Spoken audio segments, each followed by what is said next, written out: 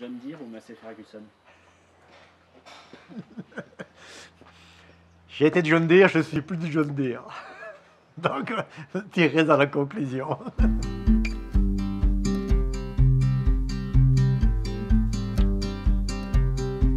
Courage, persévérance, il faut quand même être optimiste.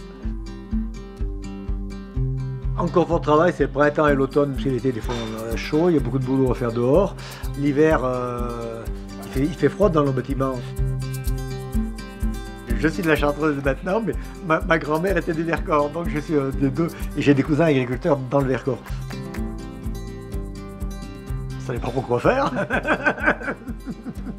Chaque chose l'une après l'autre. On utilise la fourchette. Puis après, j'ai bien la fourchette aussi. Il n'y a pas de problème.